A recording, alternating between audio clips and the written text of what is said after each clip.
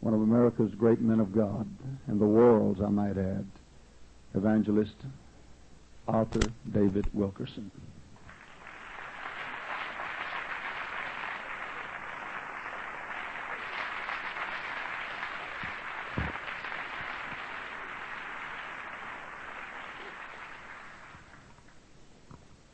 I don't take myself too seriously anymore, but I do take God seriously. Take Him very seriously. And some people have told me, David, why don't you lighten up a little bit? You're too sober. You can't spend time with Him and hear what heaven says. Anybody. There's nobody can be shut in with Him and come out and not feel the, the soberness of His presence, and especially what He intimates to the heart that may happen or will happen. Uh, I, I've never, I don't believe I'm a prophet because the Lord's not shown me that, but I think my role is like Amos, a shepherd who occasionally prophesies. And I do have a prophecy this evening, and my role is simply to deliver it and ask no questions. And I do that so that He'll speak to me again. Because if I don't obey Him, then the heavens are shut in that particular direction. He'll never shut me out. But when he shares the secret of his heart, he'll have to choose someone else. I want to say something about uh, Jimmy Swaggart Ministries. I spent a, quite a bit of time this past year traveling in Bible schools and colleges and university speaking, and I was shocked at what I found, the coldness and the death and the covetousness, and this is one of the few schools, one of the few where I found God at work. There's a tremendous Bible college here, and any students that are watching, I, I, this is one of the very few that I would recommend because I've been to many of them. And I went home after a tour and said, honey, I can't believe what I've seen and heard. It's a coldness and death and and young people who are disillusioned and don't know where they're going. I had hundreds tell me, I don't know where I'm going, I don't know what I'm doing. You know, Christian schools. This ministry, I think, too, is one of the few where true prophets of God, like Brother Ravenhill, are welcome. Brother Leonard Ravenhill, 78 years old, he wrote Why Revival Tarries, Sodom Had No Bible, some of the great prophetic books of all times. He's my neighbor and dear friend. I meet with him twice a week, and for hours we do nothing but talk about Jesus. And he's like Jeremiah. He's a real Jeremiah of that cloth. He's been watching Brother Swaggart on uh, on television and rejoicing. And about a month ago, he said, "David, if Jimmy ever asks me to come, you tell him I'd like to come." God help this ministry when prophets are not welcome or feared, or worse yet, when prophets refuse to come. That's when Ichabod is written on the doors. God help. I've, I've seen ministries go that way, and this ministry I don't believe will ever go that way because I want you to join me in prayer that, see, I'm not afraid of any Jimmy's adversaries outside. Don't even consider them. They have nothing to do with the gospel. They can't touch it. They can't kill it. They can't destroy it. It's just, there's nothing else.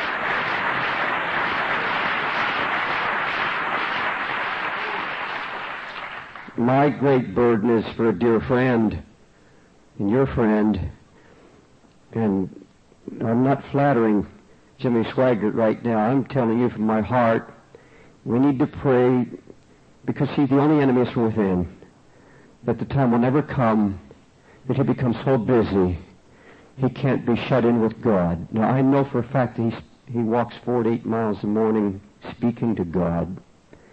And worst, one thing the devil wants to do is man, one thing is get him so busy. That's all. No woman, no money, just take him away from the prayer chamber so he no longer stands with that fire in his soul. And you need to stand in prayer that all the forces of hell will back away and say, leave him alone. Leave him to God. Lord, do that, I pray. Do that for him in a mighty way. Let him be one of the few voices left in America who thunders his voice, and we know there's a man that's shooting with God. Give him that time, Lord. Hallelujah. My wife Gwen is with me. The Lord's healed her, and she's we've we've, we've rejoiced in our uh, uh, fellowship. Uh, you know, a lot of people pray. I don't like to do this. Uh, she's sitting down in a pink, just turning. Uh, honey, just stand up so that people can say hello. They've been praying for you. You, I, you, I promised I wouldn't do it, but I'm going to break my word. Uh, honey, God bless you.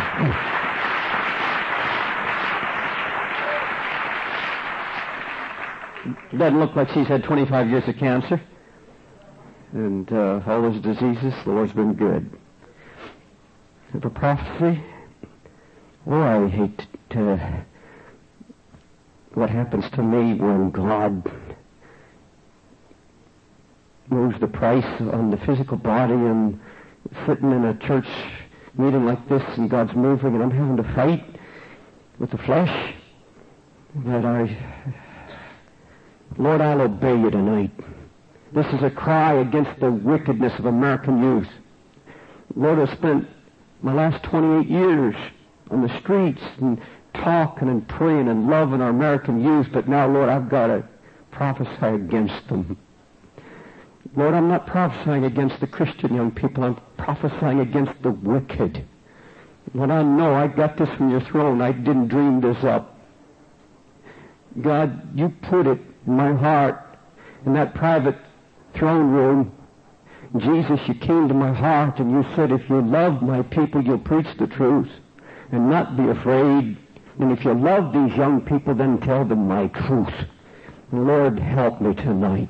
There's nothing fantastic. There's nothing new about this, but Lord, we just see it. Just put it out. Oh, God, more than anything else, we want to hear from heaven. We want to know that you're talking to us. Lord, all through Israel, all through the Bible, it says, and God said, and God said, and God said, and we see, you speak to men of old. And then we see in the New Testament, Peter and Paul, and the Lord said, and the Lord said, and the Lord said. And Lord, we want to be able to say tonight, and the Lord said. We heard from God. Thank you, Lord. Arise, go to Nineveh, that great city, and cry against it, for the wickedness has come up before me. Jonah 1 2. Prophet Malachi, Behold, the day is coming that shall burn as an oven, and all the proud, yes, and all that do wickedly shall be as stubble, and the day that cometh shall burn them all up, saith the Lord of hosts, that it shall leave them neither root nor branch. 1 John 5.19, the whole world lieth in wickedness. The whole world lieth in wickedness. Hosea 7.2, and they consider not in their hearts that I remember all their wickednesses. They are always before me. They forget that I know all about their wickedness and it's always before me. If you think only our goodness is before God, no, he said their wickedness is before me at all times. Now what does God have to say about the immorality of American young people? The same thing he said to Nineveh centuries ago, I've had enough. Go to them and cry out against their sins. Warn them that my fiery wrath is to fall on them, and a great destruction is soon to happen unless there's widespread total repentance. Now Nineveh was a great city. It took three days to walk from one end to the other. 120,000 children in that city who did not know from their right or their left foot. But it was so wicked, so violent, it had become so corrupted, it was so evil, God could take it no longer. He said, I'm going to wipe it off the face of the earth. Just one prophet was sent, one man, one evangelist. His name was Jonah. He rented no auditorium. He had no musicians. He handed out no literature. He didn't even have a loudspeaker, let alone television or radio as we have today. He planned no follow-up. There was this one street preacher walking straight through the city, stopping to talk to no one, ignoring all the government leaders, walked right past the temples and the universities, uh, past the bars, the brothels, walked past the prostitutes, up past the sodomites and the homosexuals and lesbians, and he was crying and shouting at the top of his voice. And he wasn't preaching the love of God. He wasn't telling them God had a beautiful plan for their life. He told them, it's all over. It's over. You've got 40 days left. Can you hear a single voice screaming in those streets? 40 days! God has seen your wickedness. Judgment, 40 days. He was not preaching repentance, he was preaching judgment. It was only when they repented that God changed his mind, the scripture says. He repented. Now it didn't matter how many prophets would have walked those streets the same time Jonah walked them, trying to pacify the people. There could have been 10,000 preachers walking those streets with Jonah preaching peace and prosperity, drawing multitudes away from Jonah, telling the Ninevites the country was too great that God could send, that God would send judgment on them. It would make no difference to God at all because Jonah had the message from God. And while all the others were crying peace and safety, this prophet cried judgment. Now there are many preachers in America preaching judgment now.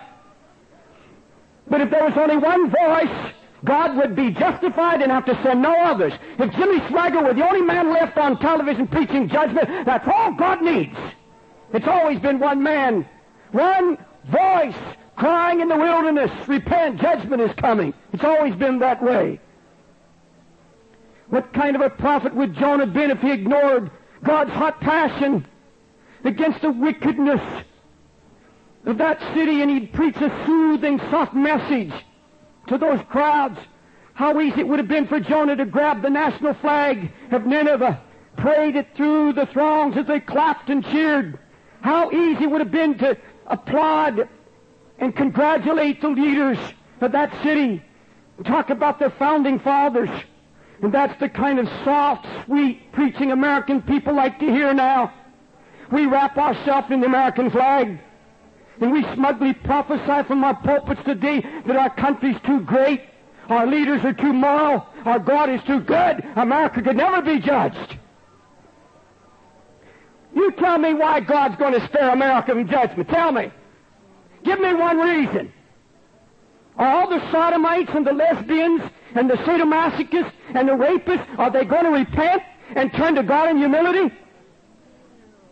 Is one of them going to do it? Are our government leaders in Washington and in our state houses going to put sackcloth on them and sit in ash heaps? And in godly sorrow, repent for their drunkenness and their covetousness and their corruption? Do you see any government leader doing that? Are the American people going to suddenly become broken-hearted for their sins and confess that they have forgotten God and sitting before idols and worshiping sex and sports?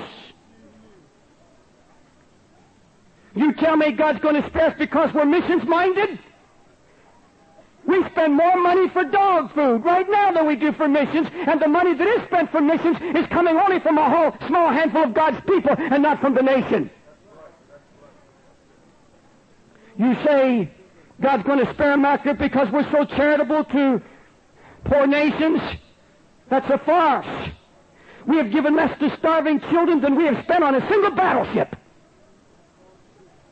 You say we're good to Israel. We're just as good to Syria, or, or, or rather to, to Arabia. We have given billions of dollars of armaments to Arab nations enough to bring on Armageddon.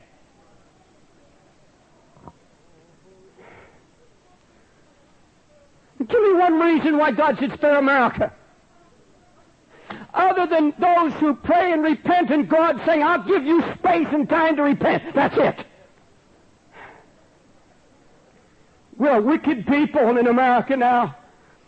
We're overrun with sodomites. We're reeling in the streets from drunkenness. We're the most drug-crazed nation on earth. And no man can stand in this pulpit and tell you more knowledgeably than I can about that. There's not a nation in the world more drug crazed than America. Not one. God's not impressed by our Olympics or by our patriotism. He's not going to be pacified with all the whitewash coming from our pulpits. We're a violent nation now. A nation that's so numbed by the horrible news coming over television of our children being molested. An 87 year old woman who was arrested for a child care center molesting both boys and girls, 87 years old.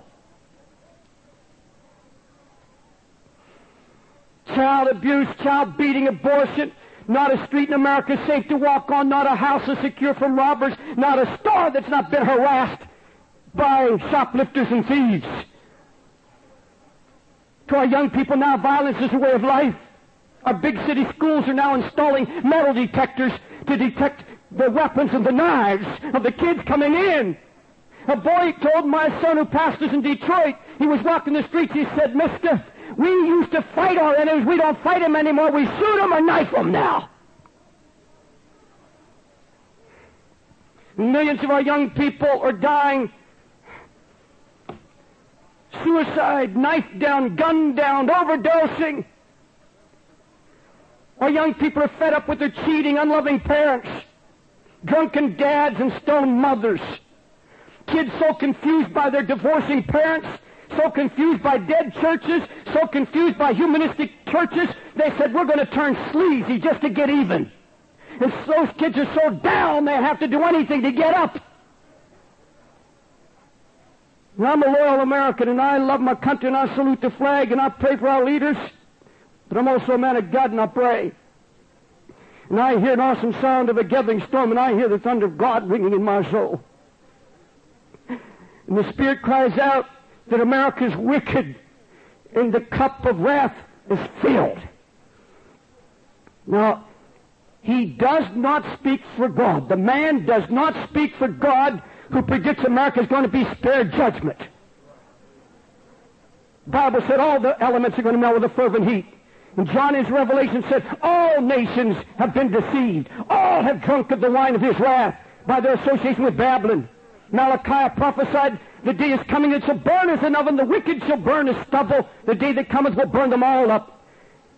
Revelation 18, 23, for by sorceries were all the nations deceived. All the nations deceived. Zechariah goes on to give a chilling account of a hydrogen holocaust. Frightening account from Zechariah. Their flesh shall consume away while they stand upon their feet. Their eyes will consume away in their holes, and tongues will consume away in their mouths. Now God has a very clear answer to why He's pronouncing judgment on America. It's the same answer he gave Israel.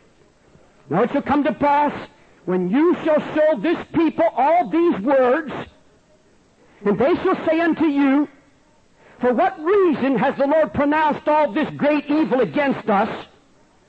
What is our sin? What is our iniquity that we've corrupted ourselves against the Lord God? You say God is going to judge us. Why? What's the sin? The answer? Because your fathers have forsaken me saith the Lord, and have walked after other gods, and have worshipped them, and have forsaken me, and have not kept my word. And then Jeremiah goes on, I earnestly protested against your fathers. I sent prophets rising early to protest against them, saying, Obey me, obey me. Yet they refused to obey me, but they walked every one according to their own imagination. Well, that's part of the trouble. That's part of the reason. It's the sin of our fathers. And it's true that godless parents are much to blame. He said, You're raising strange children. Strange, the prophet calls them. Your children are only corrupt. They're strange. There's a whole generation of strange children now. God says there's conspiracy in the land with these strange children. There's a unique, unbelievable conspiracy that's never existed before. He said, Your parents have a. The, the, the God of your parents is their belly. And he said, Your parents worship idols, and we know idols today of sex and sports and success. Listen to God's indictment against the children, the young people. And this puts a chill on my spine.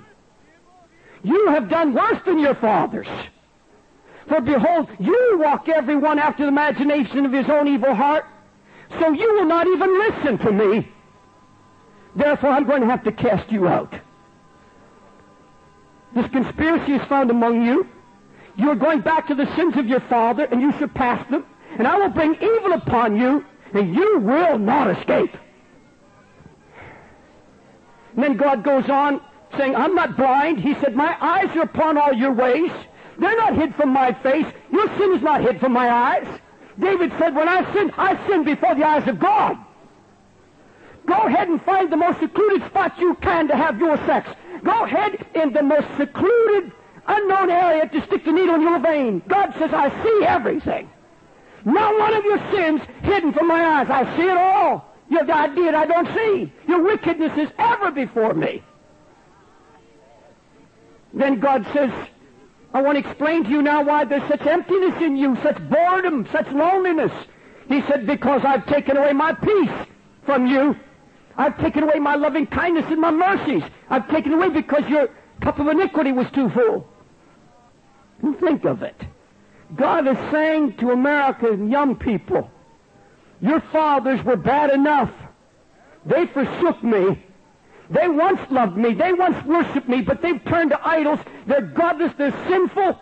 They've turned to idolatry. But you, you young people, you out-sin your evil parents. You're pleasure mad. You indulge in everything your imagination can conjure. You won't even listen to preachers anymore. You've hardened your heart. You've closed your ears. You're becoming so corrupt, so wicked. I am forced to move against you. I'll just warn you, then I'll judge you.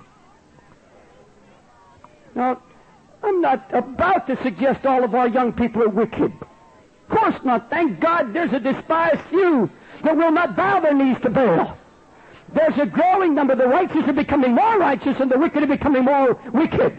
There are two streams. This remnant that I mentioned last night, growing eagle's wings. And they're sitting with Christ in heavenly places, giving up the world. And I've been prophesying, and I prophesied the last time I was here, and I've been prophesying in a message called the Wall of Fire, that the holiest generation of all is yet to come. God, in the midst of all the hell and everything else, are going to raise up a holy, sanctified young people. They're going to have more grace than I could have ever conceived in my generation, should the Lord tarry. There's going to be a wall around them, bigger, stronger, and it's going to confuse the devil. The devil will be confused and not even get to them because the wall of fire and the glory of the Lord that's within the wall. They're going to have the fire and the glory. Oh, but this other stream, many of them in that stream being sucked away now that once walked with God, backslidden, cold in heart. My message is for you. God must ju- judge this generation of American young people or submit to the power of the devil. Now I want you to listen. God blew me away on this. And he said, this is the point of your message. This is, this is the point of the sword. God cannot and he will not permit Satan to overcome entire segments of society. He never has. In all of the world's history, God has never allowed the devil to take over and rule entire segments of society without judging them quickly. Nineveh was a large segment of their population of the day.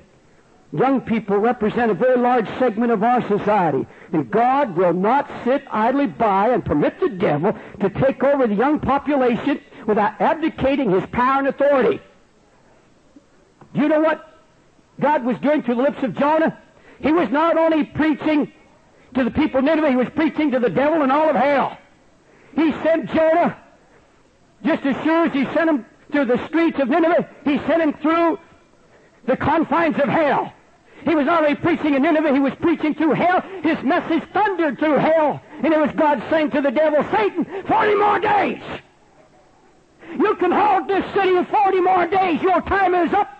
I am tired of you rising up. You cannot hold this population. I'm going to wipe your power, your influence off the map.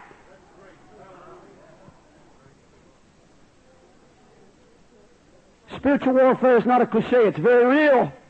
And the battle today is not parents against young people. And listen, young people, the battle is not between you and God. This is a battle between God and the devil. And the devil's using you as a pawn in this battle only to establish a kingdom for himself. He's not interested in you, he's interested in his power. He's trying to get at God. And how frightful to be caught up in the judgment of God against the devil, and you have to be a part of God's judgment on Satan because you've become his child. God's prophesied that he will not sit by and let the devil take a whole segment of our society to drugs, another segment to alcohol, another segment to pornography, another segment to the occult. God will not sit by. If he did, you and I as Christians would have to sit down and say, God can, the devil can mock our Father. The devil can just take as he chooses He can do what He pleases, sweep our young people away, and our hands are tied. He can establish His kingdom here on earth.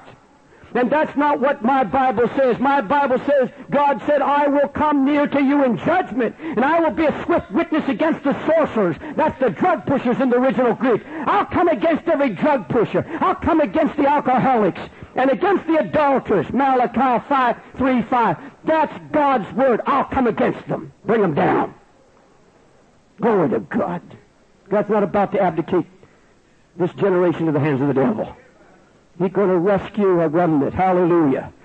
When he does come, the devil's going to be powerless when he does. He's not coming against a powerful devil. He's coming back against a lion that has no teeth. I've always believed I serve a God that made Satan toothless and powerless against God's people. Nineveh repented at one sermon. It's incredible. The king, in fact, got the message secondhand. One of his servants came in and he said, There's a man, sir, running down our streets, telling everybody we got 40 days left. He said, The man said we're all going to die because we're wicked. And the king said, Run that by me again. He said, There's a man, a Hebrew, a hated Hebrew, running our streets, and he's He's got the whole city stirred. He's saying, we've got 40 days left. We're all going to die. And the king didn't laugh. And the court didn't laugh. And the princes didn't laugh. The king stood ashen white. And the Congress stood ashen white. Because deep in their heart they were made to know that God would not sit by and let them become wicked and mad animals and kill and destroy and plunder. They knew it. That king stood at that moment, made a decree. Every dog and cat, every cow and horse, every man, woman, boy, and girl must fast. All government, all business, all transportation shut down. Not a single person moving. No activity at the threat of your life.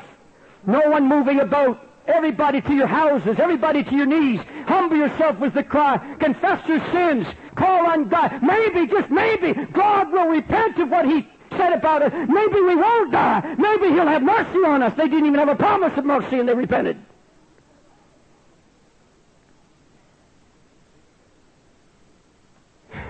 Compare that to what's happening in America. Compare it. Oh, you smug American people going to hide behind the American flag and patriotism. You listen to it. I'm just as patriotic as you are, but I've heard God's thunder. You compare that one message with one man and even getting it secondhand, even the animals are covered in sackcloth.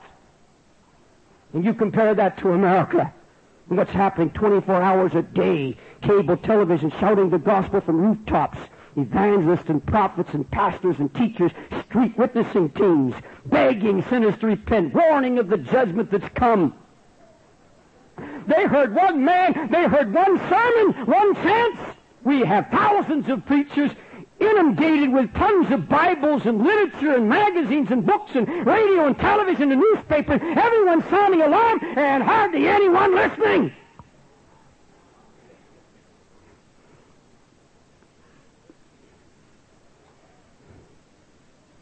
Because I called you and you refused. I stretched out my hand, you wouldn't listen.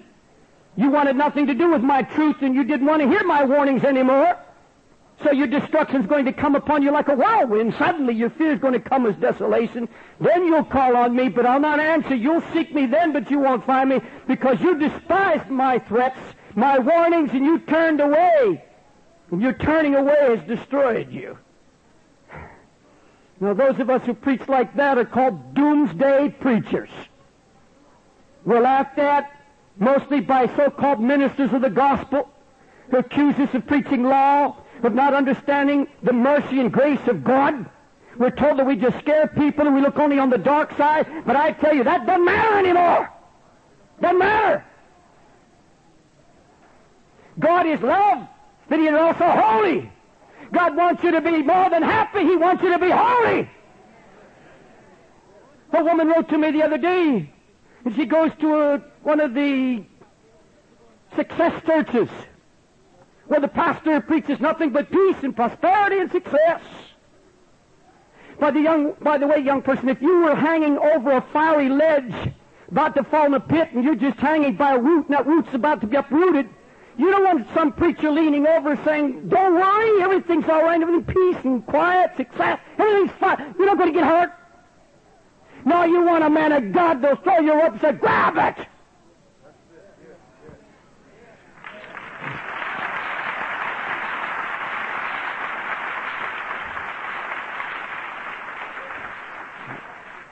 Lady wrote to me and she said, All my friends are telling me that the suffering in my life is a tragedy and that I should not be suffering, I should not be sick, I should be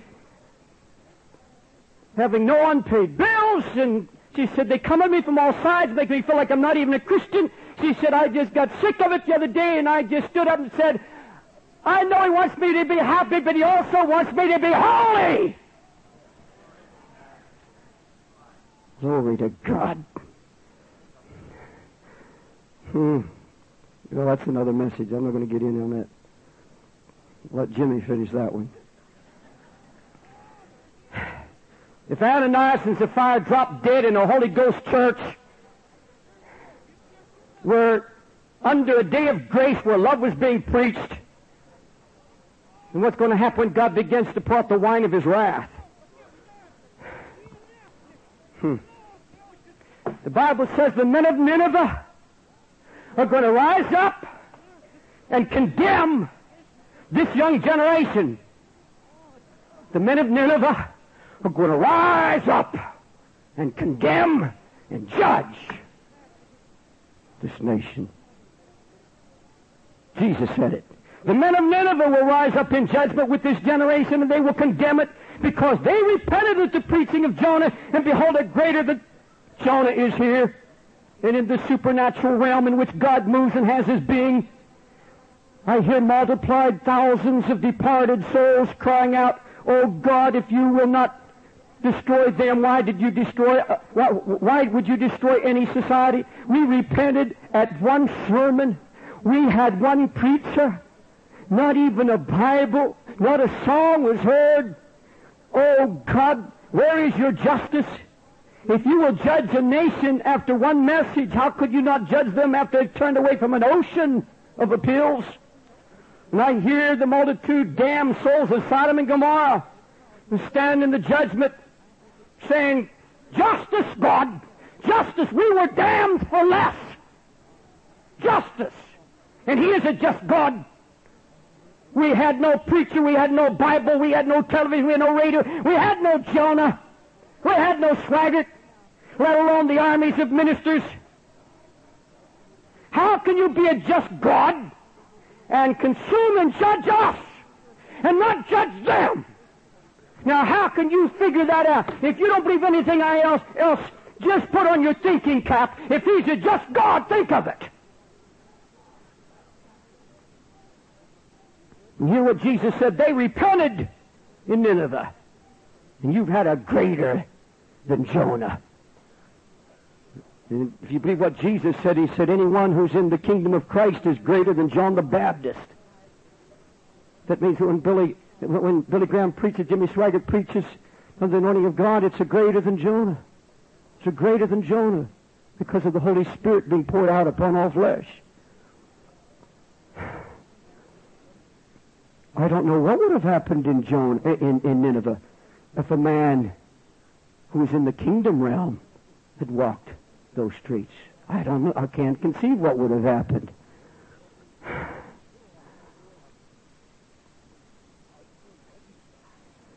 More than anything else, you can turn off Jimmy Swaggart or Billy Graham. You can turn off the street preacher. You can turn off your friend who witnesses to you. But you can't turn off the Holy Ghost, that inner voice who's now moving and you can't turn him off.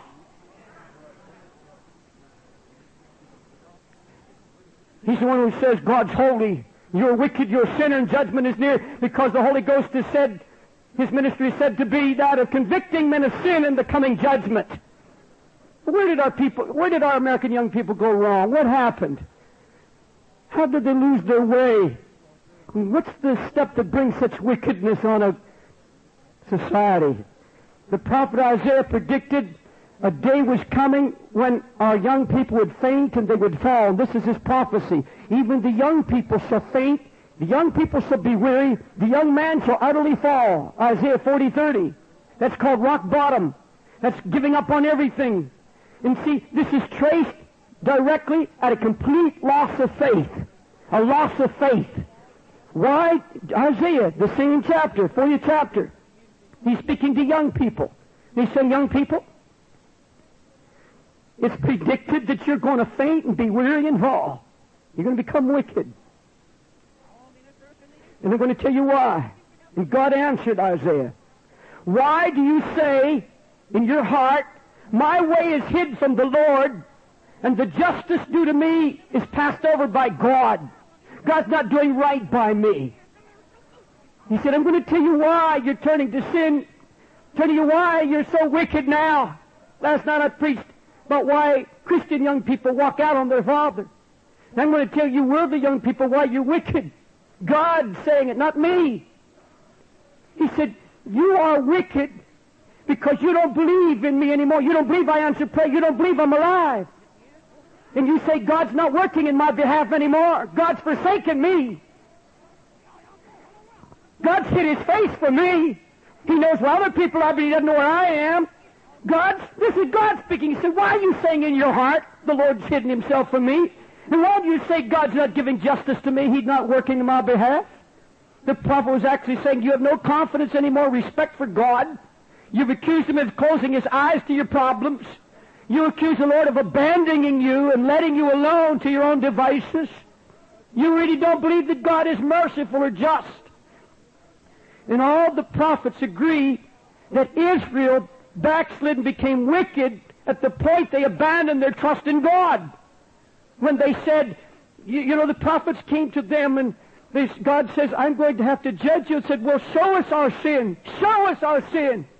And it's always been, you don't trust me anymore. You don't believe in me anymore.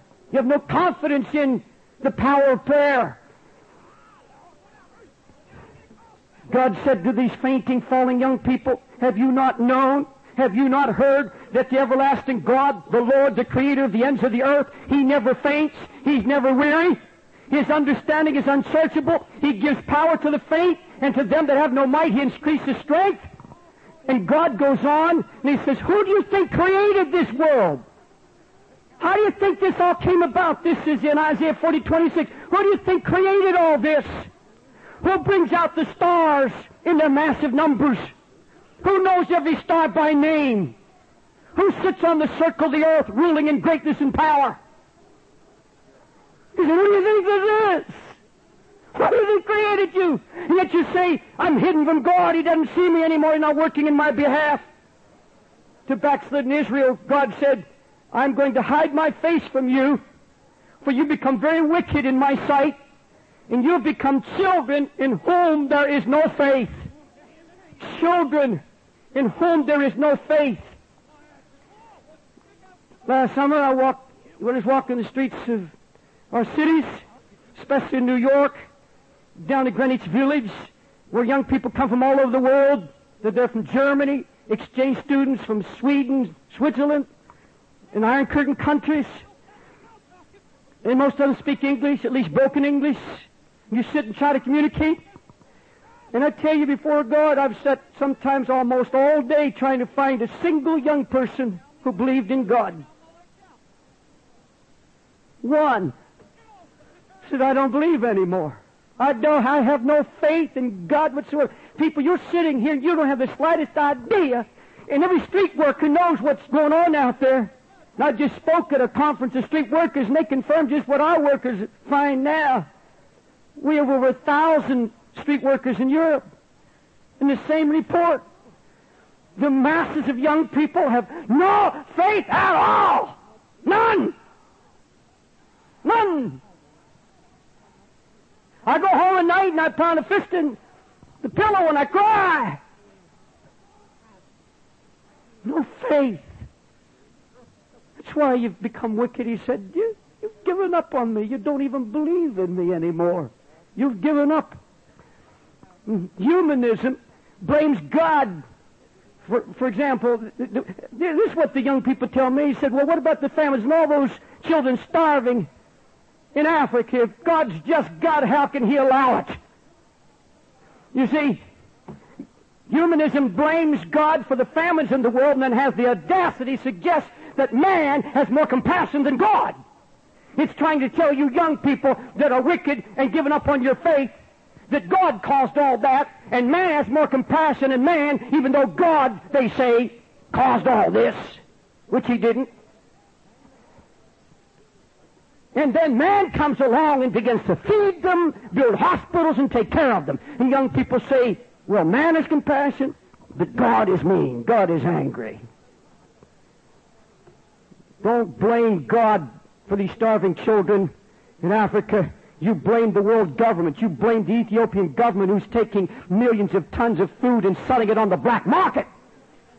You blame it for, you blame the Ethiopian government because they're mad at those rebels and they won't let food through those lines and they're, they're stuffing their own armies. You blame the corrupt politicians who spend trillions of dollars on defense and then throw sop to poor nations. You know, we figured it out, then we could irrigate all of North Africa for the price of our moon landing. We could have irrigated all of North Africa. It's sheer mockery, it's dishonesty to blame God for the stupidity and blindness of men. And by the way, who, who is it that is feeding the starving children? Who started this bandwagon to feed them now? Spirit-filled Christians.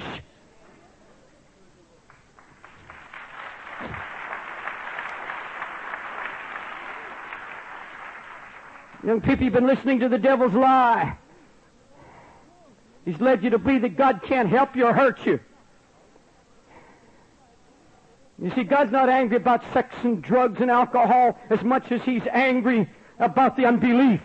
That's the corruption. That's the damning sin. It's always been from the very beginning. God hates these other deeds of the flesh, but the real damning sin is this unbelief in His majesty, that He's alive. And I believe there's only going to be a remnant saved. The wicked. Oh, there'll be armies of the redeemed, but only a remnant of the wicked this last hour. I don't see much in the Bible that offers hope for 100% repentance in America. The Bible predicts evil men are going to grow worse and worse, deceiving and being deceived. And I have a sense in me that we've gone too far already. And we're headed for imminent, near judgment, about to break out, break forth from the throne. What did Jesus have to say to young people just before judgment comes? He gave the message to Peter after God poured out His Spirit he, and you see, we preached the two parts of it. He said, repent and be baptized. And we've stopped there. But there was a third part of Peter's message. Repent and be baptized. And save yourself from this wicked generation. Save yourself. Wake up. Be saved, baptized, and save yourself from this wicked generation. How you save yourself? If a man loses his life, he saves it. God poured out His Spirit 2,000 years ago. I hear people say, well, God's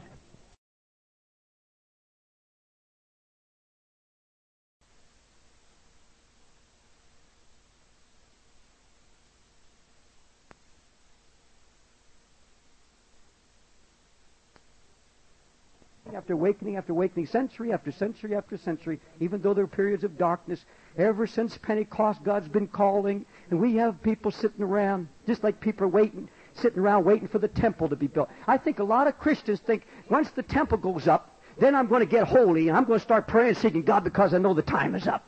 Well, the temple's been rebuilt for years. Jesus returned and rebuilt the house of David that was fallen down. The temple's been built. This is the temple of the Holy Ghost. He said he doesn't dwell in temples made with men's hands. Oh, hell, I'm not looking for some temple in Jerusalem. Hallelujah to God. Nothing delays the coming of the Lord right now. The night's already been spent. The day of the Gentiles is over. The work of the Spirit nearly finished, and the hour of judgment's here. You know, the most incredulous man in eternity has got to be Jonah. How, how, do you, how, do you, how does he ever have it explained to him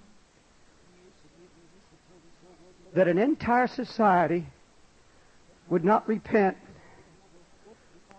with all that God baptized them with in the name of calls and appeals? The men of Sodom and Gomorrah will be incredulous, of course, but I think the most shocked man in eternity is Jonah. Jonah will ask, what kind of society could it have been? What kind of society? I preached one sermon. And I saw men fall. I saw them run out in their barns and pull their animals out and cover them with sackcloth. I saw people throw sand in the air and moan and groan. I saw them reeling in pain and repentance in the streets. I saw the heads of governments weeping like babies, and I preached one sermon. How do you explain that to Jonah? All right, now, this afternoon, I said, Lord, that's fine. That's a national appeal. That's a, that's a cry against American youth and their wickedness. But you see, up to this point, I've really not been preaching repentance. I've been preaching judgment. And simply, I've given you a warning from God that what's about to happen soon, and like Jonah, I've just told you time is up. And I'm going to tell you again. I'm telling you again, and I believe this, and I don't care what anyone says to me. I'll look you in the eye until I've been on my knees, until you know, until you can look me in the eyes and tell me you've been on your knees seeking God night and day. And if you seek God night and day, you're going to hear the same thing. The time is up. It's all over.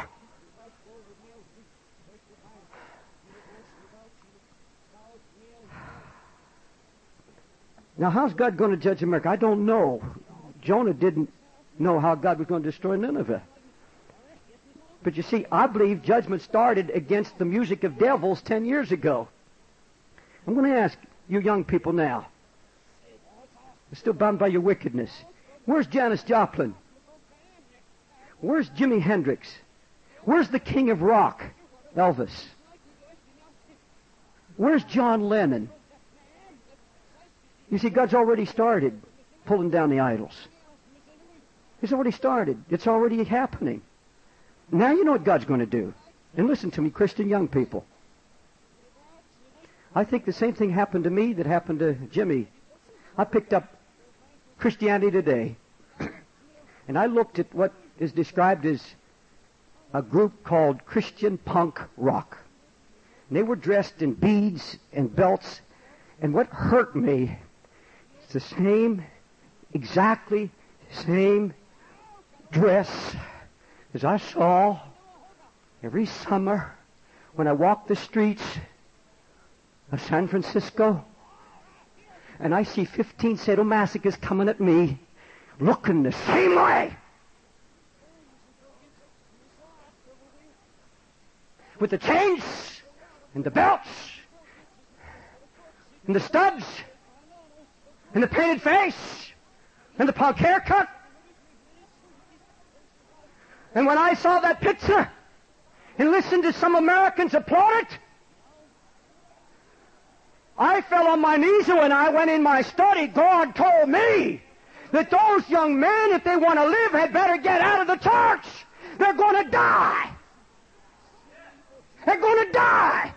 Because God will not put up with it. Young men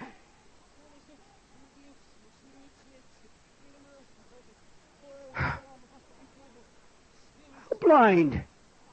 How blind have we become? How blind are we?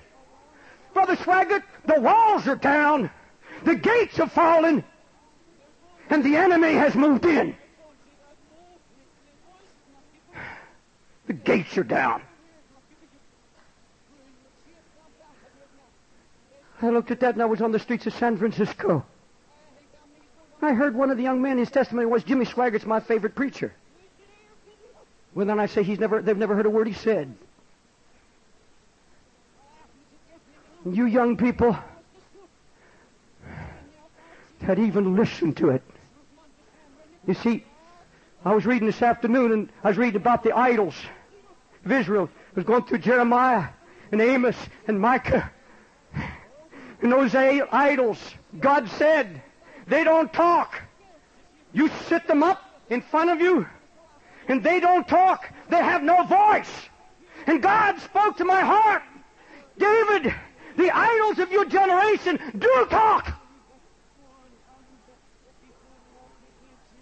You have talking idols. Your idols are alive.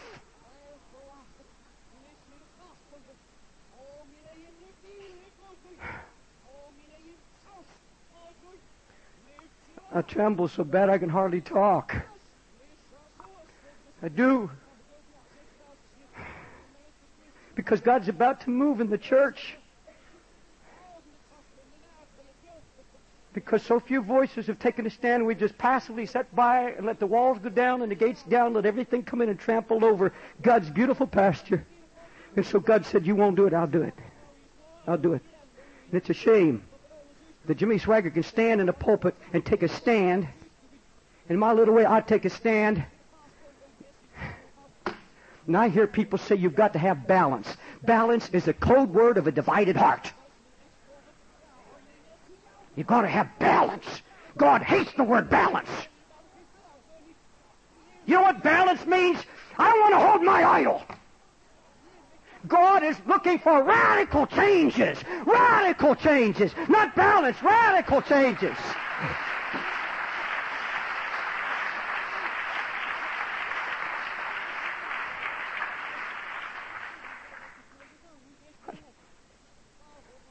I want to get those boys and put my arms around them.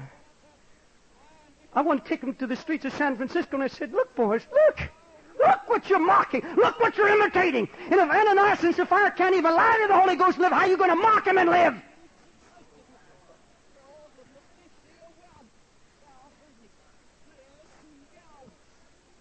And it's so bad, Brother Swaggart, we can't even discern when we see it in the church anymore.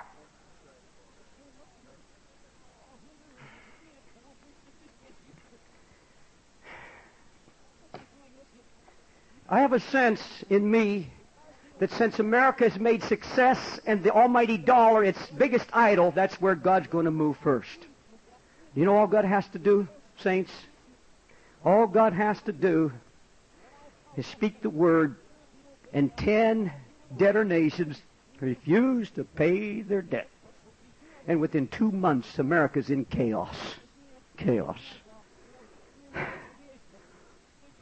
Now, and I've just got this this afternoon. A personal word to all you young people who've been running from God. All you who've quit on God and you're bound by your wickedness, I got a word for you. You can turn me off. My part, I don't expect many of you to hear. I don't expect many of you to listen.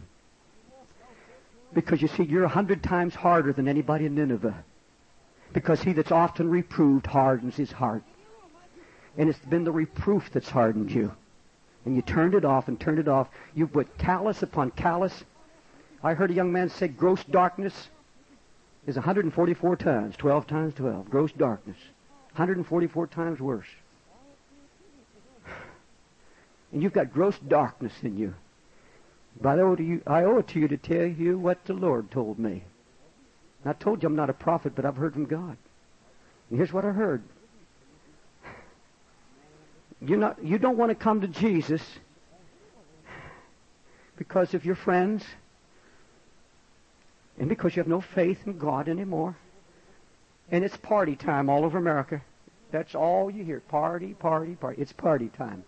America's become one mad party. In Dallas, all last week they were advertising on the radio and television a big, massive go to hell party. Go to hell party. And, and people were asking, what does it mean? And people said just what it means. That's how bold we've become in our wickedness in America. Go to hell party. Who cares? Flaunt it in God's face. it's party time. Easy sex, drugs, a lot of booze. Having a good time.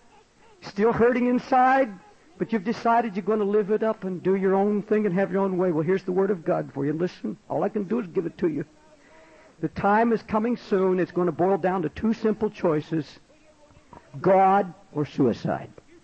And I'm going to tell you how it happens. And I give you God's word for it. And already thousands of young people are opting for suicide. All across the land right now. And here's, here's what happens. God says, I'm going to take away your peace. He said, I'm going to turn your pleasure into sorrow, your joy into tears. I'm going to turn your hopes into emptiness. And listen to this. O Lord, correct me, but with judgment, not in thy anger, lest you bring me to nothing. Unless you bring me to nothingness. And here's what God's doing. He's taking the thrill. I will look this congregation right in the eye. And I tell you, after all these years working with real crazed young people, ask this young street preacher over here that's teaching in the Bible school here. You look at him. They're supposed to be having fun. There's a sadness, there's an emptiness like it's never been. There's no thrill. The thrill's gone. Sex hurts. Drugs dull. The booze makes them sick. The thrill is gone. There's nothing left. The peace is gone. The joy is gone. And finally, young man, you wake up one day. You said, I've tried it all. Nothing brings me pleasure. Sex is boring. The parties are dull. There's nothing left but nothingness. And the gun, the pill, and the knife. North Dallas, the whole city shocked. Plano, horrible rate of suicide. I wrote a book about it three years ago, but I never do never did believe it'd get as bad as it's gotten. It's boiled down to two choices. It's not God or parties. It's not God or my friends. It's not God or my drugs or alcohol. It's God or suicide.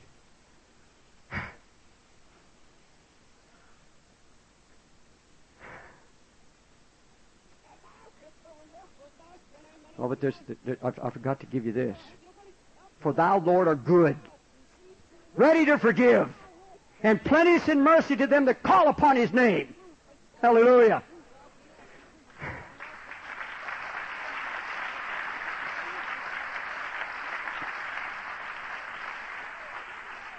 Young people, Lord told me to give you one final word of hope. Here it is, oh Lord, I know that your way I know that the ways of man is, it, I know it's I know that the way of man is not in himself. It is not in man that walketh to know how to direct his own steps. So, O oh Lord, you correct me. Show me your mercy and not your anger, lest you bring me to nothingness.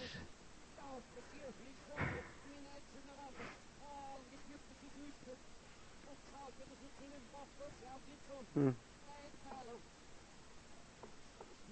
I, I don't know why American Christians are sitting in front of comedy shows on television.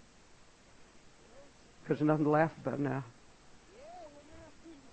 I don't know how you can sit there and watch A Team and all those other murderous things when God destroyed a whole nation and society for violence. I don't know how you can sit there in front of that talking, alive idol and sit there inside of worship to that idol. Years ago, God told me if I'd get it out of my home, He would bless me and give me a ministry. If I hadn't obeyed Him, I'd still be stuck in the hills of Pennsylvania trying to find my way through the hills because I spent that time in prayer. But then you see, I brought it back because it's sports and news. Oh, yeah, sports and news. And soon I was laying down before that idol. And last month, when God said again, And we removed it. I saw something happen to my wife that I haven't seen in years. The glory. She's had the glory, but in such measure now. I saw God break loose, and I had five television sets in my home. You know, one in the kitchen where you can sit and eat, one in the bathroom where you can lay in the tub and watch, one in the bedroom. Isn't that awful? And I'm telling you now, Christians, this is a word for you. And I wasn't going to do it, but I have to do it. I'm going to burden my soul. The time's coming where Christians can use it only as Jimmy Swaggart's using it, and that's to preach the gospel. And you and I are going to have to pray and support it whether we see it or not. We're going to have to support it. I'm not asking you to take it out of your home. That's the word of the Holy Ghost. I can't tell you that. But I can tell you, you sit there and waste your hours. You waste time when you hear a message of judgment, you don't even know God.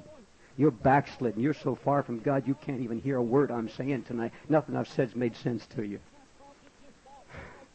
I hear a trumpet blowing. I see God's heart. It's just the cup is just boiling over, and God said, "That's it." Oh, it, it's incredible. And I, that's that's what I don't think we understand. I said it last night. I believe Hosea. He's he's he, he's prophesying in time of great prosperity, gold and silver, like stones, people living in palaces, and he's saying the same thing. It's all over. It's all over. He said, You delicate women who won't even go out and get your feet dirty are going to kill your babies and eat them. And within two years, they were eating their babies. Two years. Two years. Incredible. You can't imagine, can you? Sitting in all this prosperity that God can suddenly move and it's all over. It's all over. But I can. And I have.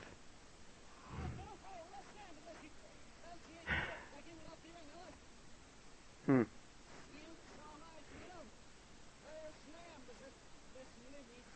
Well, I've, I've obeyed the Lord. You know, I, I don't even know how to give an altar call in a time like this. I saw how God moved on Brother Swaggart last night. What an incredible gift to bring in the net.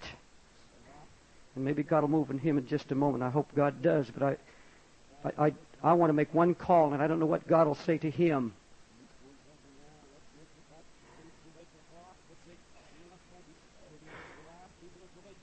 And I, I, I want to thank Brother Swaggart for letting me unburden my heart.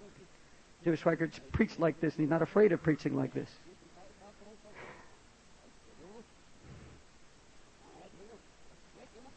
I'm going to say it one more time, Christians. It's all over. He said, Now hide yourself. Gather together. Rejoice. Said, when you see all these things begin to happen, what's the message for us? Not to sit here sad. I'm talking about, I'm talking to the wicked tonight. What should the Christian be doing? We're to look up and rejoice before redemption is drawing nigh. Glory to God.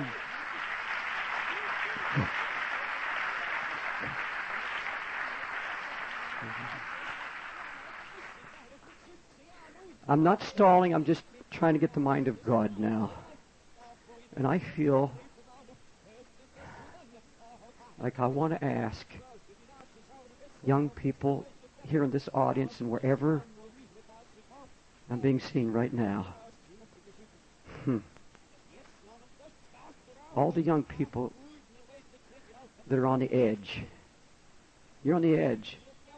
You're being attracted by the very thing I'm talking about. Your faith is very shaky. And you're starting to watch the cassettes. You're starting to like it. You're saying, that's not so bad. And you're saying, others are doing it. And little by little, your fire is going out and you're getting colder and colder and colder, and your love for Jesus is dying in the process. I want to ask you to, to stay in your seat. I'm going to ask you the second time. The first appeal, though, is for young people here in the audience and wherever I'm heard who, and I don't remember ever doing this before in my lifetime, not this way. You have to admit, David, when you were preaching about wicked youth, I had to say, that's me. I'm wicked. There's wickedness in me. There's sin in me. Wicked. Now that's something for get up and say, admit you're wicked and get up and come down here and say, oh God, have mercy on me lest you bring me to nothingness. And you've probably already been brought to nothingness, emptiness. I'm going to ask you. I'm not even going to pray. I'm just going to ask you to get up. Come up here and take me by the hand. I'm going to ask God to bind the devil that's trying to destroy your soul. And I want to take dominion over that thing in your life right now. Devil been trying to tear your life apart, and I know I have his mind right now. There's some young people here right now, and if you're you're watching, you can get right up and go to the pastor or your leaders, and I want those leaders and others to stand right in front, stand right beside the screen. And you get up and you go up and take hands, lay hold of and take dominion in Jesus' name. And I want everybody in this audience, I don't care what your age is, I don't care if you're a grandfather. Say, David, I've got wickedness in me, and I know God's going to judge. And I know I'm about to lose my faith forever. Get up. And come and take me by the hand right now, and I'm going to ask God to take dominion in Jesus' name. Get up. Breathe on me, Jesus. Let me feel your mighty power. Breathe on me, Jesus. Till you speak this very hour. Like a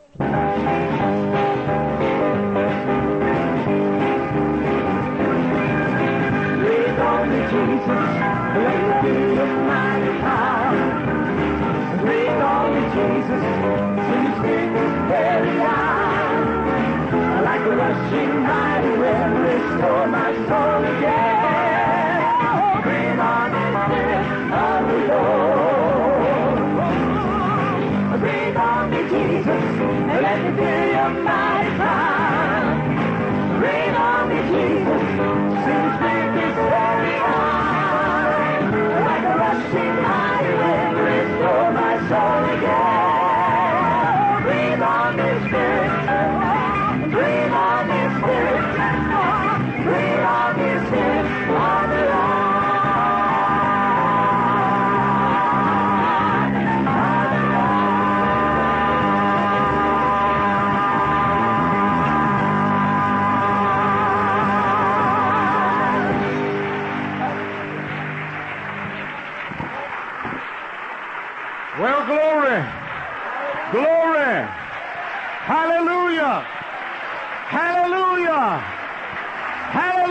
Hallelujah. Glory.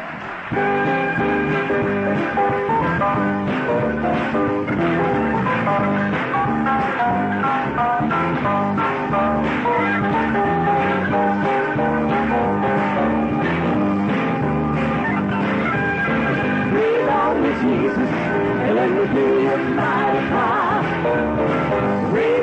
Jesus. Like a rushing mighty wind, restore my soul again. Breathe on me, Spirit of the Lord. Breathe on me, Jesus, let me feel your mighty power. Breathe on me, Jesus. Been this very hour. Like a rushing mighty wind, restore my soul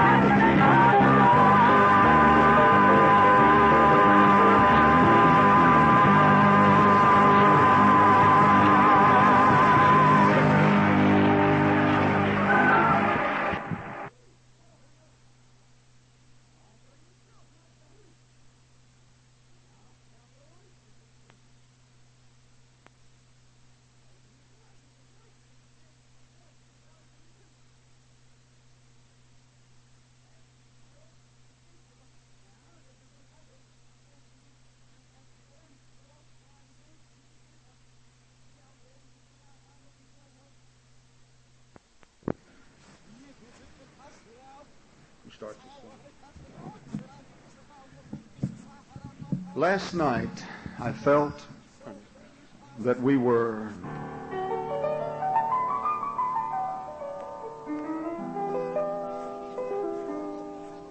in the presence of God in a way that maybe I'd never since before. I told Frances when the service was over at the close of Dave's message. I felt a pathos.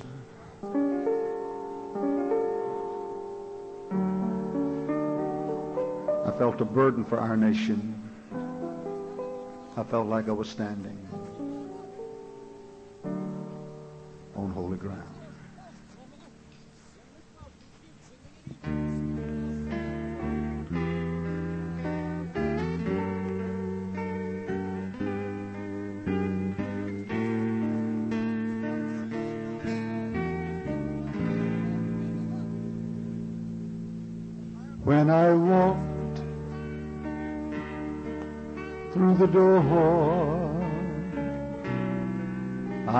felt his presence.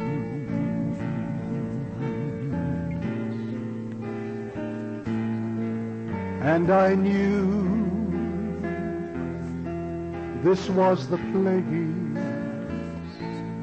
where love abounds.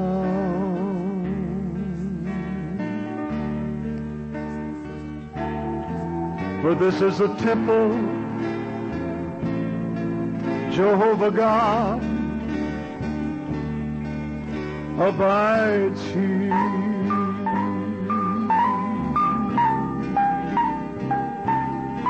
For we are standing in his presence on holy ground.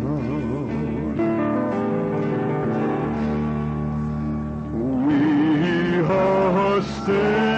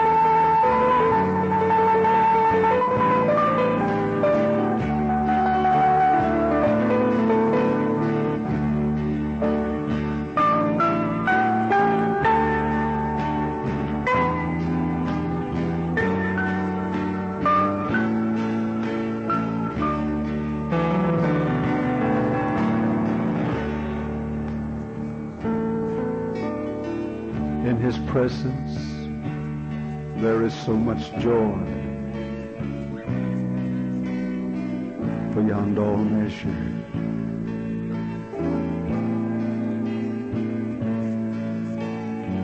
At his feet, peace of mind can still be found.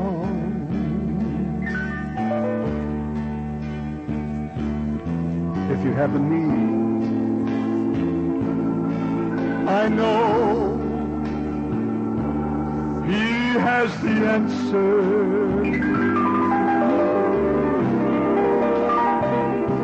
Oh, reach out and claim it,